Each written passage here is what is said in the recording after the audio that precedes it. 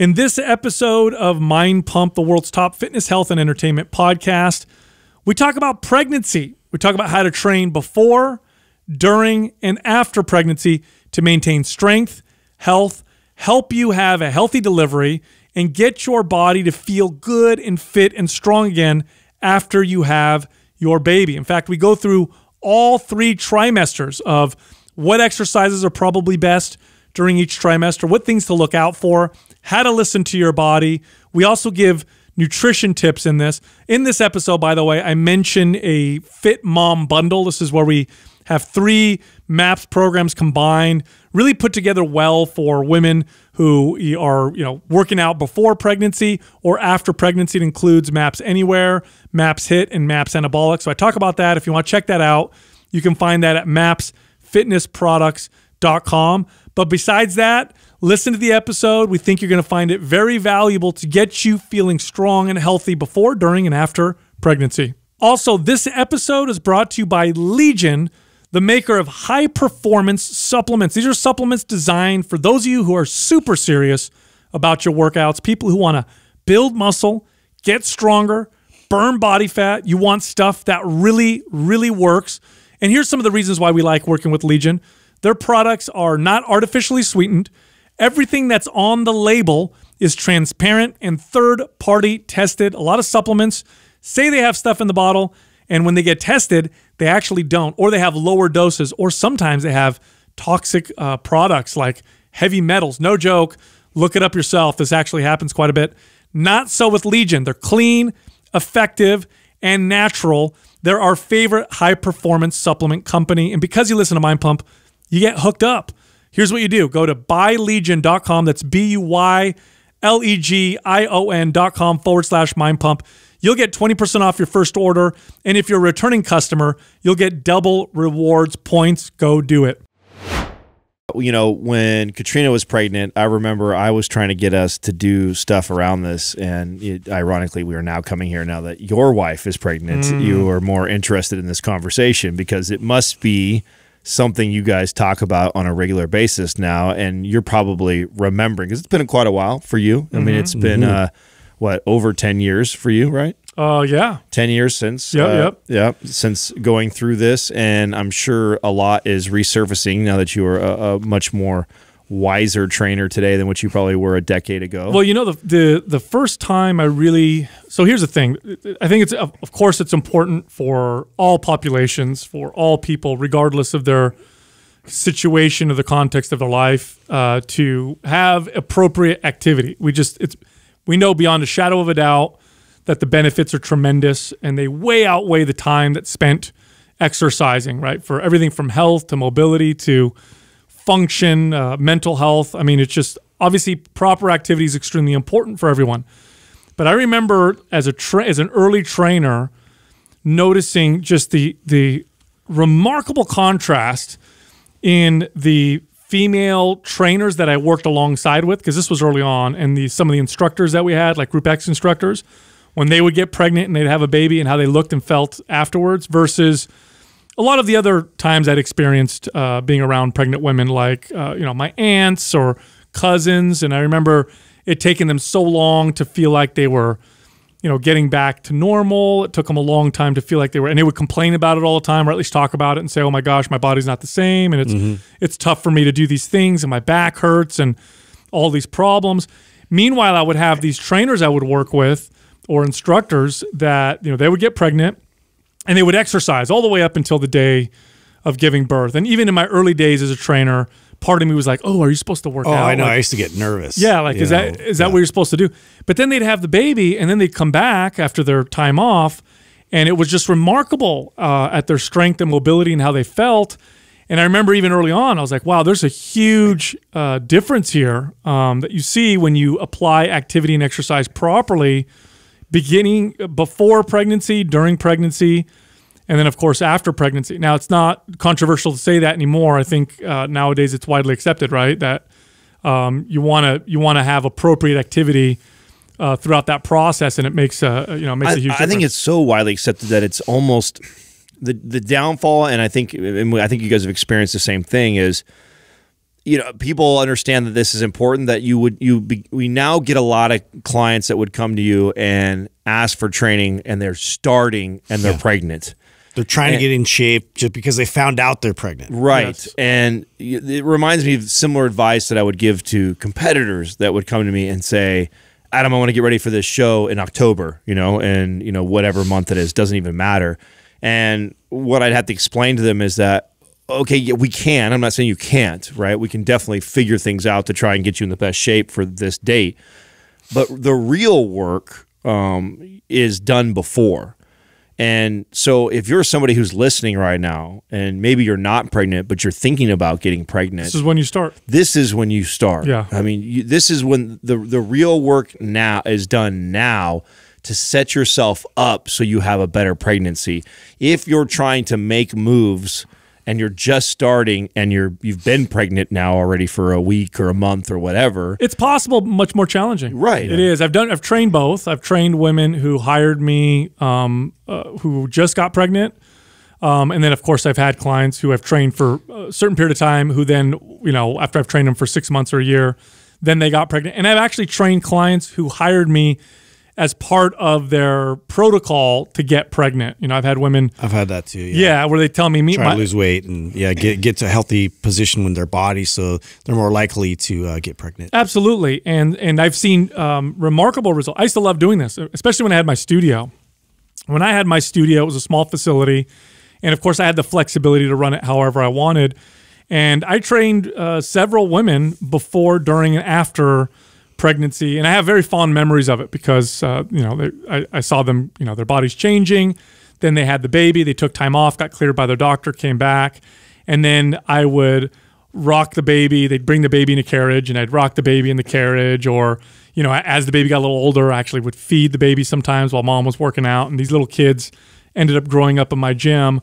Um, but you could see just how remarkable um, of an impact it has on the body when you prepare it properly and you train it properly throughout that whole process. I mean, now, of course, the goal is with exercise and pregnancy, there's a couple goals. Uh, one of them, of course, is to maintain fitness, strength, mobility. Remember, mobility is not flexibility, mobility is control over your ranges of motion. This is really important for pregnancy because uh, a woman's body will naturally become more flexible during the, the, the process. There's a, there's a chemical or hormone that's released called relaxin that actually loosens things up.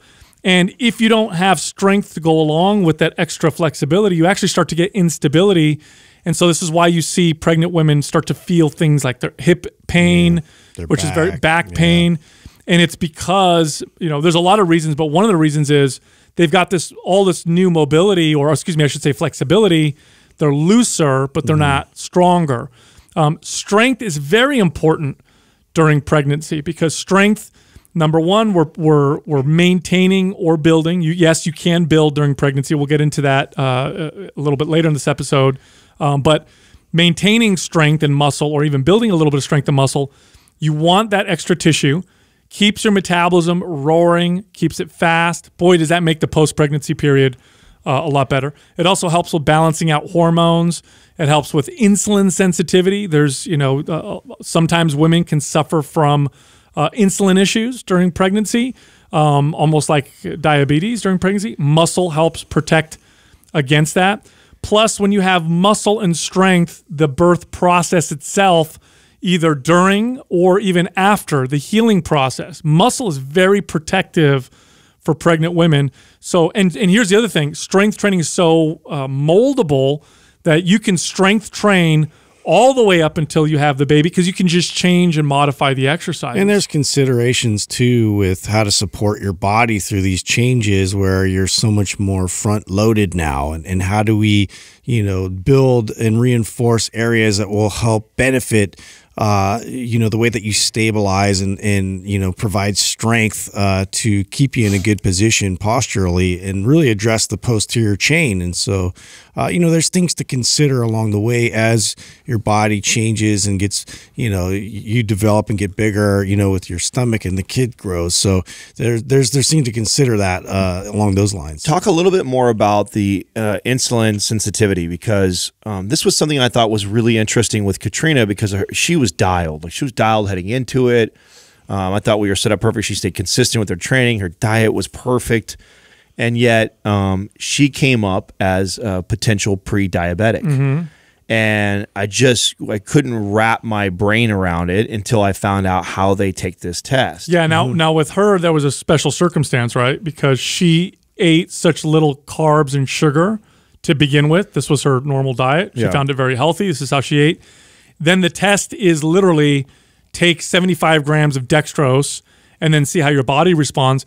If you're really low carb all the time and you do that, you're going to get a response that's going to look like you might have. Uh, Well, I. I actually don't even think that that's that abnormal. Like, you know, Katrina probably eats about a hundred in a day, you know, which is not, I mean, for, for females that are consuming about 1500 to 1800 calories and that eat pretty healthy, typically have a, a moderately low Yeah, but- carbohydrate. Yeah, And but how often does she have a, a 75 gram Never, sugar? never. I, I mean, Yeah. and that's a that's my point I'm trying to make right now. For because I know there's got to be some people that uh, that this will probably throw a curveball from. It did for me. Uh, I was like, wait a second, you cannot you can't tell me my wife is pre-diabetic. She's like so dialed nutritionally. Mm-hmm. Why?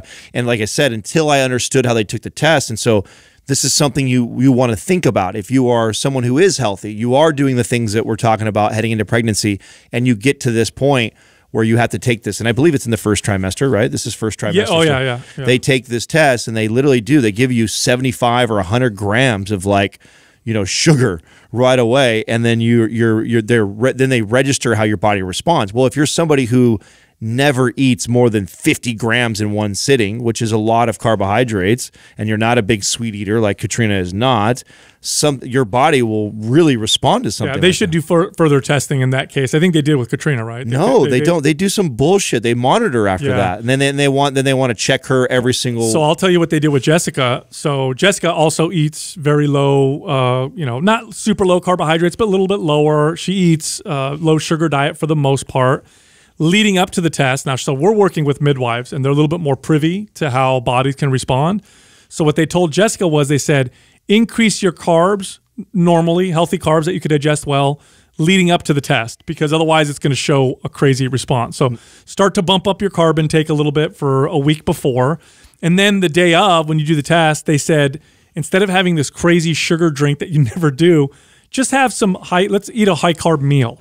So they gave her the option to do that instead. oh wow! See, she Katrina didn't have that option. Oh, yeah, so and not only that, I think I believe they even coached her to not have carbohydrates in the morning before the test or anything like that because they wanted to see how it was. It's because they're dealing with the typical, the average person who eats a lot more carbs, a lot more sugar, and they don't. It's not as think about it. How often do do they get to work with someone who's that conscious about their diet and exercise? Yeah, yeah. You know what I'm saying? It's Yeah. rare. No, that's a very very good point. No, I wanted to bring it up because this wa- this was an area that we we like wrestled with back and forth with them because then after that they wanted to go they wanted to monitor her constantly and they wanted her to change her diet Mm-hmm. radically and I was like no your diet is good right now I don't want you to go way different and when I found out what they did I said that's exactly what's happened is you your body is used to never ingesting more than about 25 grams on the high end of carbs Mm-hmm. at one shot and they give you 3x that at one time And all in the form of this like liquid sugar. yeah, Yeah. like that and, and, I mean Katrina is not at all Dude, it's so a sweet eater It's so strong that women get nauseous from drinking it because it's such a strong shot to the body.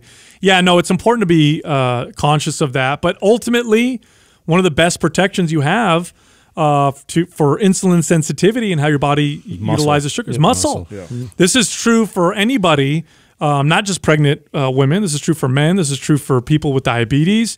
Muscle is excellent at first off, it stores a certain amount of carbohydrate, so it's nice to do that. It's also very responsive, um, and it helps your body regulate that, and that's important during pregnancy. But again, you want to have strength in muscle because it's going to give you a buffer for uh, when you can't move that much, when you just have the baby.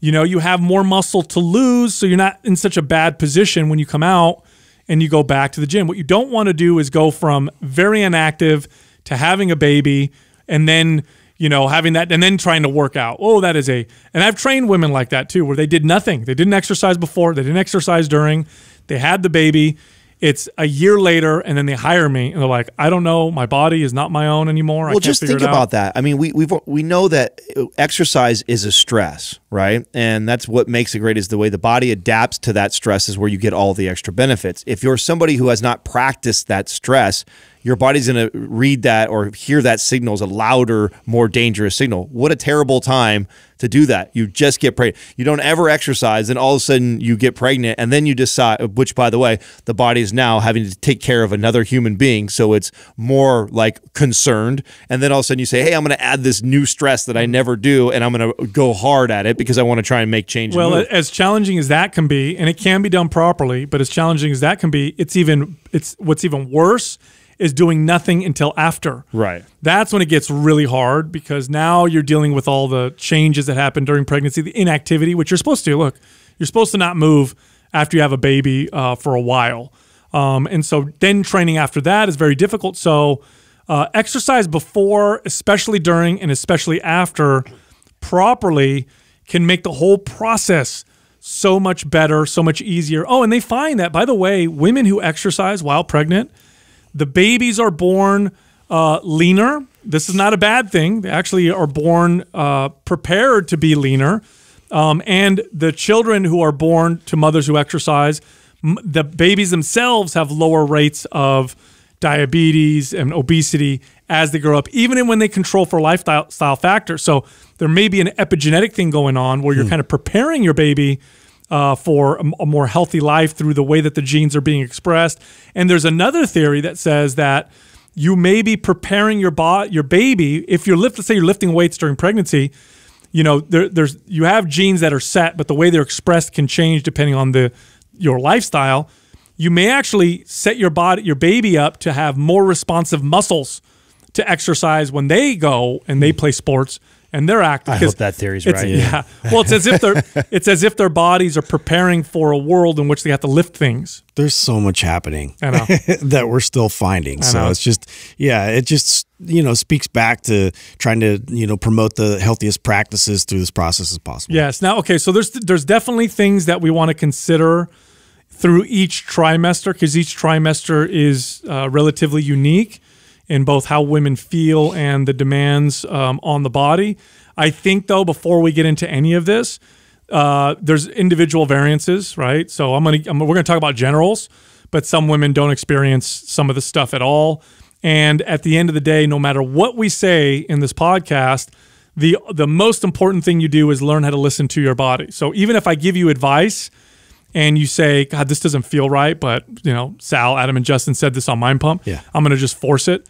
Don't do that. Please, please don't. Don't do that. Listen to your body. When I would train pregnant women, it was I was uh, I mean I did this with every client. I would pay attention to the, to the to the feedback they were giving me.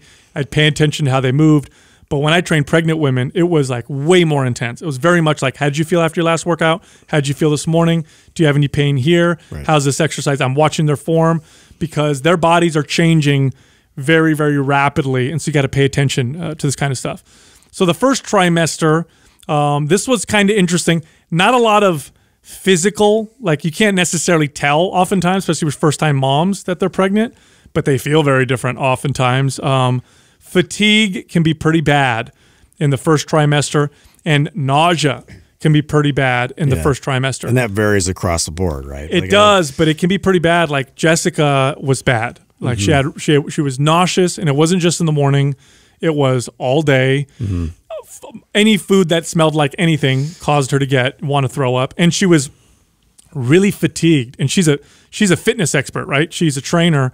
She was so fatigued all the time. So those two factors really, and I, again, training lots of pregnant women, that one's common. You're dealing with the fatigue, you're dealing with the nausea.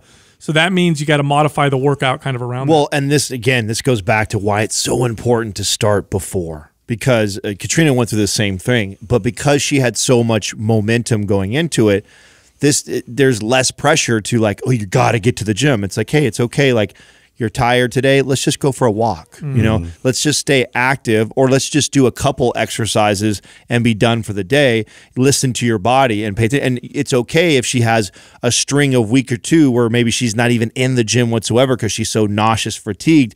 She's not behind the eight ball. She's mm-hmm. already ahead of the game by building the muscle, by getting into the routine and the habits that she can she can sacrifice a week or two of inconsistent inconsistency in the gym because she put the work in before. Where this is where I think this is where it's make or break for a lot of women when they first get pregnant is they have this idea like, oh, I'm going to start working out, and then first trimester this shit hits because Oh, I, yeah. I I remember Katrina falling asleep at like six o'clock on the couch Yep. and just being so Yeah. tired and exhausted. And then if she didn't be, if she wasn't eating every two hours, she would get nauseous. And so all of a sudden, those things start compiling. And you know, it's already it's hard enough for a healthy, normal person not carrying a baby to get their ass up and go to the gym and go work out. Try taking care of a, a of this thing that's growing inside of you, feeling nauseous, feeling fatigued, and then also trying to be motivated. Like this is what this again, the importance of you know setting the table Yeah. before. You know what's funny though is that that uh, that instinct tends to kick in, that mom instinct, and even though they're nauseous and fatigued, you know, a lot of my clients were like, "No, I'm going to make this a priority because I'm taking care of my baby." So you know, we often take care of our kids better than we do ourselves, and so I would see that. But here's the important thing to consider when you're doing uh, when you're working out in your first uh, trimester. First of all, resistance training um, uh, is the best form of exercise during pregnancy because you can mold it, modify it, strengthen your body individually, build that strength, get that muscle, speed up that metabolism. In the first trimester, if this is you, like most women, you're feeling tired, nauseous, slow, controlled movements, and your intensity is low to moderate at best. Mm-hmm. What you're doing is you're going to the gym and you're practicing movements. You're literally getting under the bar, and let's say normally you squat with 100 You're just pounds. maintaining the signal. Yeah, exactly. Like okay, like for example, Jessica, you know, let's say normal workout, she would squat anywhere between 100 to 130 pounds, right? During this period of time, she would squat with the bar, mm-hmm. 45 pounds or body weight, and just go through controlled movements, feel the muscles active, keep everything kind of moving. It was like to maintain that muscle building signal through the workout. And this is even before, in, in the first trimester, your body's not changing a whole lot. So, what I like to do, uh, tell women during this period of time is really make it a focus to work on core stability because later on in your pregnancy, that's gone. And so the more strength you can go into those those you know second and third trimester when your the baby's growing and the core muscles are stretching and you're losing that connection, the better because you're yes you're definitely going to decline, but because you started at a better position, you don't decline so bad that you cause yourself problems. So lots of core stability focus. So I'll give you an example, right? Let's say normally you do um, uh, a bench press. This is your normal exercise for chest. Now you're in your first trimester. You know, physio ball chest press would be a good exercise because now you're getting a little bit more core stability. Or maybe dumbbell chest press alternating with the dumbbells. And so basically, what you're doing is you're incorporating some form of core stability along with all your other exercises, as well as core exercises like your your stable planks, your counter rotation movements with your you know your or your rotating movements. Those are all real good. You want and also it works along well with what I said earlier, which was lighter, low intensity, you know, type of exercises. They they work really well together. So I have a favorite exercise that I had Katrina do, and we started it in her first trimester. Before that, it would intermittently she'd have it in routine, but this became a staple movement that we carried on the entire pregnancy. It started in the first trimester, uh, and that was Turkish get-ups. Um, I love Turkish get-ups for uh, the the split stance benefits, the pelvic floor muscles, the core stability, and it's not something that you need to load really really heavy and just perfecting that entire movement. Uh, that exercise is one that um, I would I didn't until later start to incorporate that with clients and was a staple movement that we started in the 1st trimester and carried all the way through. Yes, and the other thing you want to think about is think to yourself, uh, what exercises am I not going to be able to do? So later on, so I'm going to do them now. So at least I have some residual strength uh, built, right? So Yeah, like you said, your workouts aren't going to look, uh, you know, that much different in the first trimester. But it's really the energy management that you're going to have to consider, the core strength, like you're mentioning. Uh, so it, I mean, it's not going to look dramatically different. Your workouts, it's just you got to really monitor your intensity and really listen to your body a bit more. But trying to establish those foundational strength moves that you've been doing is probably a good well, idea. Well, I like to do split stance exercises for the lower body in the first trimester more than squats or or double leg exercises. Now, the reason for this is because uh, split stance exercises you'll hear me talk about uh, later in this episode. You're not gonna be able to do in the third trimester. Yeah. your belly gets in the way. You ain't doing lunges or step ups when your when your belly's really big. So I like to do them in the beginning, the first trimester, when we can. I like to establish good left to right balance Right. in that first trimester because later Got on that emphasis on stability. Exactly. Later on, I'm not going to be able to do that. Um, I, I think this is very important now for women. You should do a little bit more exercises for your back than you do for your chest. You should focus on strengthening the shoulders coming back, having that good, strong posture because you're going to need that when your when your weight comes on the front of your body and also later on when you're carrying the baby and breastfeeding you want that mid back to stay strong because a common problem you see with women uh, at the end of, uh, at the end or especially after is they get neck tension lots of neck tension because their shoulder girdles trying to stay stabilized while they're holding the baby in front of them They're always looking down. always looking down and breastfeeding. So I like to like uh, kind of offset that by while we're working out, let's strengthen those muscles that pull the shoulders back. So we actually eliminated all chest stuff. I was just I told her that you know we're going to incorporate because you can you can fall. We have several programs that actually fall pretty pretty nicely for somebody who's pregnant, and but yet they still have some things like chest exercises. And what I did was I eliminated those and I replaced it with things like the Turkish get up or put more emphasis mm. on rows and deadlifts and back posterior chain type exercises. Like mm-hmm. that was a lot of the, most everything was posterior chain type exercises, split stance type of movements, Turkish get ups, core stability, all that stuff was what we would do is we take out the standard chest press in, in one of our programs and replace it with movements like that. Now, diet wise, uh, you know, first trimester can be real tough. I again, I experienced this with Jessica. Remember, Jessica's a trainer. This is a fitness expert.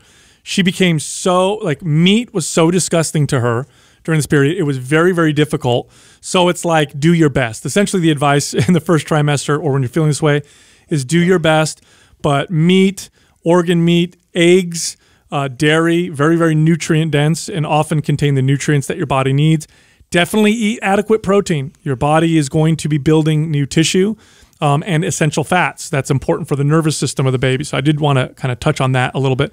The routine for first trimester typically looks like when we're considering the fatigue and the nausea and all that stuff, two to three days a week. Okay. So if you're lifting weights two to three days a week, doing full body, you're doing a pretty damn uh, good job. So, uh, and some of you might even only do once a week. Um, that's okay. But usually, in my experience, it's about two to three days a week. I know Jessica was about two days a week consistently in that first trimester when she was feeling uh, so crumbing. Now, the second trimester, this is the this is the good the the fun trimester. Everybody says right. This is when oh my fatigue is gone, nausea's gone, Yeah. energy's good. Belly's still not that big. Exactly. Believe it or not, Jessica started hitting PRs in her second trimester. She wasn't trying to. Oh, wow. She wasn't trying to, but it just happened. She was just stronger. And I remember we were kind of tripping over that. She's like, "Oh my gosh, that's a I think that's a PR. Like I'm feeling really strong." You just start to feel really good.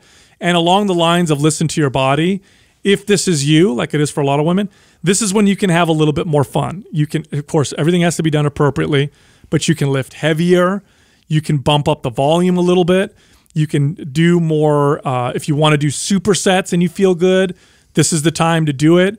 This second trimester is when you can start to really kind of get your fitness levels. Uh, but again, always listening uh, to your body. Um, I like to maintain core stability as the focus here because the third trimester that's gone. Um, so I like to always throughout the whole workout make that um, your the, the focus. Towards the end of the second trimester, we're typically moving away from split stance exercises. Now I'm doing the squats. Now I'm doing uh, the you know more of the the deadlifts. By the way, great exercise for uh, pregnant women. Sumo stance deadlifts, one of the best exercises I ever had women do. That nice deep stance. It's good for the pelvic floor, knees apart.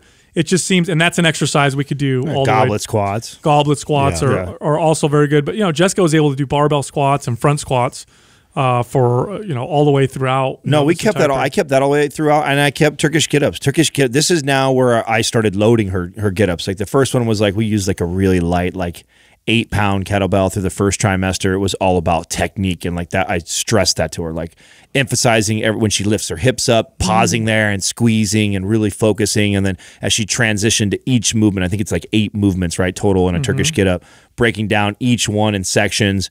And the whole first trimester was all technique, technique, technique. And then when she starts feeling better in second trimester, now I began to load it. Now I was like, okay, let's really start to see how much weight you can stabilize over your head while doing this movement. In addition to keeping deadlifts, keeping back squats, all those things were still going great in second trimester. Yeah. Now, one thing I did forget, I should have mentioned this early on. Um, this is the only, this is one of the only times I recommend this particular practice. But in between sets, when you're sitting on a bench or a physio ball, I recommend sitting on a physio ball, especially for pregnant women, because it allows you to activate and feel and strengthen your pelvic floor muscles. So, in between sets is a great time to practice Kegels, Kegel exercises. So, this is an interesting factoid, but a lot of the times that women get pelvic floor damage from birth is is because their pelvic floor muscles they don't have good connection to them. They're weak and they're tight. So having good strength and the ability to activate the, the pelvic because here's the deal. You want you need to be able to relax the pelvic floor muscles when you're pushing out a baby. But this also means you need to be able to feel and connect to them. That's the that's the other side of connecting to a muscle is knowing how to relax it and allow it to to stretch out. Kegel exercises help you do that. And when you do these Kegels, this is like uh, imagine you're trying to stop uh, the flow of urine. That's one way to kind of feel those muscles. But you also want to imagine that you're pulling up. So you want to squeeze and pull up and hold that position for 10, 15, and maybe work yourself up to 30 seconds. If you get real good, you could do it. You know, you can do reps in between your sets of exercises. I will say this if you've never done this before, easy to overdo. So I, I've trained women before, and they're like, "Oh, I've never done this." And so like every set, they do this in between sets, and then the next day they're like, "Um, my, my Kegeling's fried. I- I'm really, really sore. So start real slow. But these Kegels in between sets, they don't fatigue your body enough to take away from the rest that you're doing with your workout, but they are strengthening key muscles that you're going to want to have strong and that you're going to you want to be connected to. Um, you know, obviously, definitely while you're having the baby, and then afterwards, uh, they heal a lot faster. I still like to put an emphasis on uh, back exercises and rows. One thing to consider uh, towards the end of the second trimester, definitely in the third, when you're doing a row, you might want to excessively arch your back. Try to maintain good posture, but don't excessively arch the back when you're rowing, or you'll start to feel some shearing in the low back. Yeah, we haven't we haven't mentioned this because I think uh, you think it's obvious, but we should touch on it. That you at this point too, you're this is when you're starting to get away from any exercise where you'd be laying on your belly, right? You may you may allow yourself to do that in the beginning of the first trimester when it's not a big deal, but you want to get away from doing anything where you're lying on your stomach. So Yes. avoid any any exercises like that. Yes. Now, in the second trimester, if you're relatively fit and you've been working out before and during, now during, now you're doing full body workouts three to four days a week. And usually that fourth day looks more like mobility, and the three days look more like your traditional resistance strength. So this is a good time, I would say, to to do that kind of a workout. Then we move into the the, the third trimester. Now, the third trimester, now you're out of that kind of fun trimester where you were feeling good. Things start to feel a little uncomfortable um, in the third trimester because baby's growing. Um, you're not able to stabilize as well. Temperatures heating up. Temperature's heating up. Yeah. Uh, so Adam said, "Don't lay on your stomach." Here's another one: Don't lay flat on your back. yeah. Uh, not necessarily because it's not a good idea. Um, I know they recommend don't sleep flat on your back, but uh, if you've ever laid, if you've never experienced this, you will. When you're pregnant, especially third trimester, especially when you're losing core stability, let's say you're laying flat on your back on a bench and you're done with your exercise. Now try to get up. Mm. And if you don't have a partner in there to help you, Yeah. you you're gonna have to roll off the bench to get yeah, up. you have to roll over on your shoulder. Yeah, because you can't, and then if, because the bench is narrow, you got to do this weird, you know, shuffle thing, and it's not going to happen. So I recommend incline exercises if you're doing presses. I do not recommend flat exercises. Well, this is also why I'm going to make the case for again the Turkish get up because this is it, it's inevitable. You're going to be in bed. You're going to be on the floor at one point. You're going to have to get up, right? So avoiding it and and and adding to it in exercises, I agree, right? There's no mm-hmm. reason for you to be laying down doing a bench press right now at this point. But there's going to be times when you have to get up out of the floor, get up out of your bed. And if you've done a good job of incorporating that exercise the entire time, you've now learned to kind of navigate that movement even with a belly. So I've continued this movement all the way through this trimester also. So even as Katrina started to really grow and show, we would still be doing Turkish get ups because she's maintained that this entire time and we've slowly progressed so that when she does get up off the floor or when she does get out of bed, we don't have like a hernia. Right now, you and what you want to do when you do this is you want to pay attention uh, that you're not trying to activate your abs really strongly to get yourself up. If you if you do that and you notice that that that tenting or that peaking in your stomach, so you'll notice that you'll contract your abs and you'll get kind of that point along the midline of your stomach. That means you're using using your abs too much. Now, here's why you don't want to necessarily do that. If you push that um, you could, and this is just uh, my experience, so I don't know if there's any research to support this, but you could potentially cause splitting of the abs, which becomes a problem. I know a lot of women after pregnancy have issues with the ab splitting because then they don't want to go back together. So you want to be able to use your arms, turn sideways, use your hips. Again, this is why I recommend all incline exercises if you're going to do presses or upright seated exercises if you have access to like cables or bands and not exercises that are, are flat. Um, in the third trimester, I typically start to reduce the volume and I start to reduce the intensity. You're probably going to feel uncomfortable. You're going to overheat a little bit. You might not, you're going to fatigue a little faster. Again, listen to your body.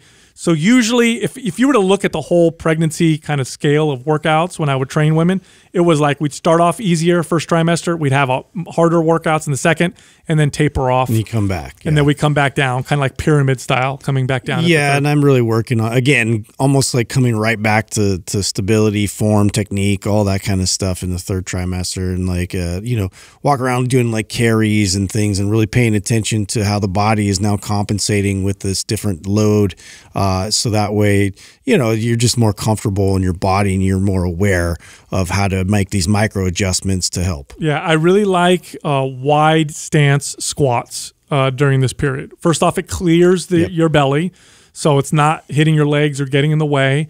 Plus, there's benefit to getting stronger in that wide legged position. It tends to activate the pelvic floor muscles um, and it keeps those hips strong in that kind of that wide range of motion. So if you normally, you know, if let's say you squat traditionally conventional, as you start to get into the third trimester, lighten the load. You should do that anyway, but really start to practice getting the legs wider and wider and the feet pointed out further. If you ever watch me training a woman in her third trimester, the squats are very much like these yeah. kind of sumo looking style you know, uh, type squats. Wide and trying to maintain depth. I mean, I used to even use the TRX a bit too to just have them sit in that low position and really like, you know, get comfortable in being able to access recruitment and, and work their way out of those positions. Well, here's a great example of how we manipulate things like tempo, right? So like like you, Sal, I've except for in the second trimester, I've put a lot of emphasis on the sumo squats, the sumo the sumo deadlifts, uh, goblet squats, wide stance, right? So I've already started to really push and strength train here. When I get into the third trimester, now we're going to back off a little bit on the volume. One of the ways to back off on volume is pull back on the load a little bit. Mm-hmm. But then now I'm going to mess with like tempo slow so down. Slow it yeah. down at the bottom of the of this isometrics. The, yes, exactly. Squeeze and control at the bottom. So I would actually do like pause squat, pause sumo squats with her. She'd get down to the very bottom. I'd have her pause for two to three seconds, then come back out of it. So we lighten the load, so we have less risk now because we're not loading her up very much.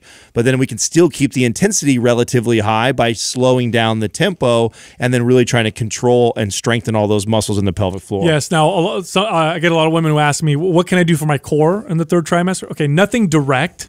But there are some exercises you could do to kind of help maintain stability. One thing I like to do is uh, using a band. You can do this with a resistance band. Attach a band to something and then stand sideways to it and with the band close to your chest. Brace your core and then bring your pail arms. Of press. Pallof press. Bring your arms out in front of you and just brace your core. And what you're trying to do is just prevent your body from twisting. That counter rotation will maintain some of that, you know, that stability um, in the core. And it's a great exercise uh, to do that. Um, focus on breathing. This is really important, but especially in the third trimester. I think while you're exercising, while you're doing your reps, you're doing your lifts, don't hold your breath at all during these lifts. Okay, so there's nothing wrong with holding your breath when you're lifting heavy normally, but in the third trimester, don't don't you get a weight, hold your breath, and then do an exercise. The whole time you're Yeah. The whole time. I want controlled breath throughout the whole workout. That's going to come in handy uh, when you're, you know, going through labor um, to really be able to activate the the diaphragm and keep core stability while you're breathing, you know, controlled. We don't want to try to push Well, the heart rate up for no reason. Yeah, I love those, especially working on breathing and things like that on the days where we're focused a little bit more on mobility or like yoga poses and things like that, where it's, uh, you know, a little bit more focus on uh, the restorative side of everything. But uh, it's such an important piece and component going in is to be able to have breath control and, and, and be able to have access to that. You know, Totally. we we haven't really talked a lot about um, nutrition, and there's a reason for that. I, th- I think it's important that we in this episode we at least uh, go over and address that. There's a lot of uh, of myth around this idea that because you have you're you're raising a child inside of you that you need to eat for two. Um, I think that was one of the biggest mistakes that I saw, especially in, earlier on. It's less. I think. I think more people are aware of it today than what they were 20 years ago. But it, it, how many times have you heard that statement before? Oh, I'm eating for two now, right? Like so. It's like a free pass at that point. It, it does. It becomes a free pass to overconsume, and I forget what the the uh, you know the approximate number that they've came out with with research, but I think it's like 140 calories uh, more a day is all your body really needs to to support. not that much. No, it's not very much. 140 calories is easy. It's a, you can get that in a little Yoplait yogurt, and you're already over that, right? So it does not take much more calories, and you're probably at a greater risk over consuming. So can you keep that into consideration as we're going through all these trimesters, even though that you're getting tired and, and naps and you may be sitting around more often and your belly's getting bigger and you th- maybe cravings are kicking up. So you're thinking that you need to feed the body all these extra calories. The truth of it is you're not. And, and over consuming like that, you're, you're at a greater risk than just giving your body what it needs. Now that's when it's averaged out. I know in the second and third trimester, it's more calories than that. I know Doug just pulled it up right here. Uh, especially the third trimester, it could be as much as 450 calories extra day. That's the recommendation from the Institute of Medicine. But even that's not. Wow, uh, I would challenge the yeah. shit out of that. Well- 450 extra calories in a, in a day. Yeah, and I, look, here's okay. Here's my experience training uh, women through pregnancy. It, it's a range, and it depends on her health. It depends on how she's working out. Here's what I would always do. I would always say. First of all, I've never, and I do not recommend, unless there's special circumstances, that you sit there and weigh and measure everything while you're pregnant. Wrong time to do it. Right. If okay, first off, from a from a mental standpoint, you're probably already being challenged with the fact that your body's changing and that you can't do anything about it.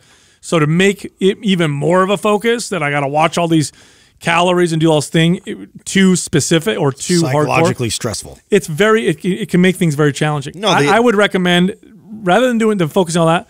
Here's what you need to focus on: focus on nutrient density. Yes. Mm-hmm. Make sure you the you know try to aim for rather than taking things away, prioritize foods that are nutrient dense, that have proteins, that have essential fats, uh, carbohydrates that are easy to digest. So let's say you have a craving and you're like, ooh, I want to eat, you know, I don't know, something that maybe not the healthiest thing. Then I would say, okay, before you do that, prioritize these nutrient dense foods first.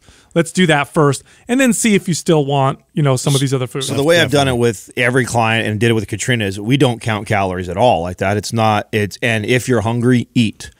But don't allow that to be the free pass to eat whatever it is that you want. Again, remember, you are feeding your child right now. Quality. Yes. And so I would never tell a, a pregnant client nor my wife that, hey, if you're hungry, no, you shouldn't eat anymore because you've had Your 2,000 calories are too high. yeah, no, eat, eat, but make it make a wise decision and just be careful that that doesn't mean a free pass of eat whatever you want. Because here's what ends up happening is you you fill up on foods that are not nutrient dense. You end up eating 3000 calories, but a 1000 of those calories came from a frosty freeze or came from a pie or some shit like that. If you eat if you ate that all in steak and vegetables and and pasta and things like okay, go for it. I'd mm-hmm. rather you get it from think calories like that than you getting it from a bunch of sugar or crap. So be mindful if you're going to, you know, monitor yourself that way, where you say, hey, if I'm hungry, I'm going to eat. Mm-hmm. Be mindful of the choices that you're making. That in itself will you'll you'll be amazed by the body will naturally regulate, give yourself the extra calories that you need to just by your appetite. Oh, I mean, you know, organ meats uh, to some extent. I know they're gross, but those are good. Eggs, full eggs, the yolks themselves, uh, you know, very high in choline and nutrients that your body's going to Very need. important one, yeah. Dairy, high quality uh, meat, very very nutrient dense. That's a good idea to eat. Uh, fish, if you're okay to eat fish, if your doctor says it's fine for you to eat certain fish, I would go with the fatty fish, salmon, wild caught.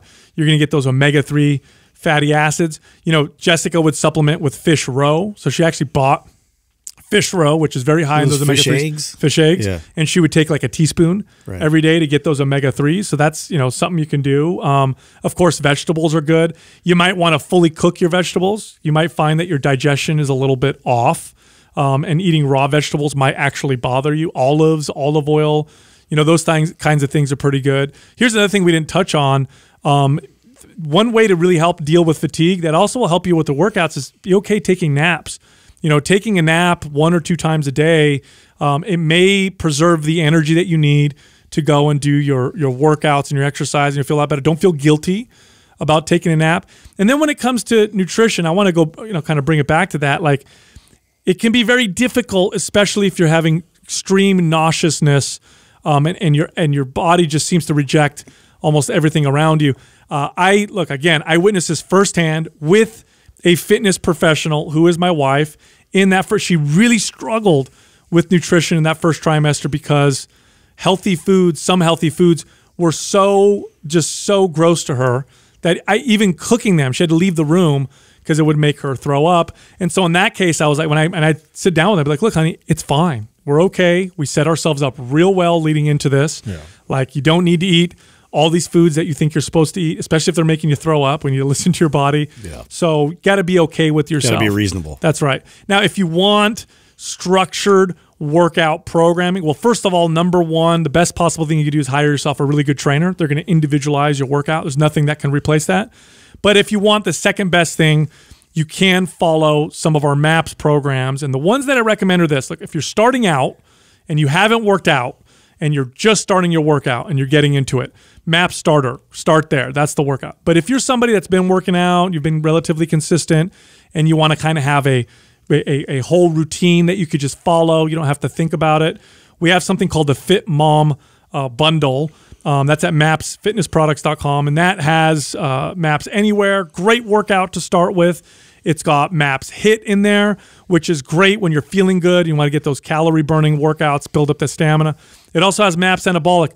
Pre-phase and MAPS Anabolic is so has been so appropriate for so many of the pregnant women that I've worked with and trained with. It's a great basic full body workout that you can follow throughout the whole pregnancy. And if you're fit and you're feeling good, you can even listen to your body, but you can even move, move through all the different phases of those programs. And then when you have the baby, of course, when you get the clearance, you can jump back in, start slow.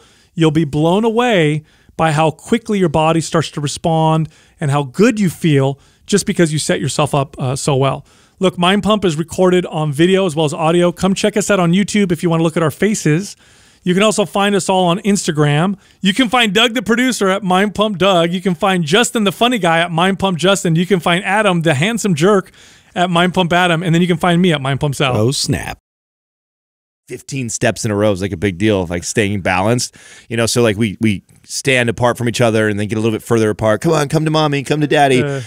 and he's at that phase where he'll be walking and he's all excited to come towards daddy loses balance and then go left and he just stays left yeah. and just keeps going to Well, this is where I'm going yeah, now. yeah, yeah, just goes the other direction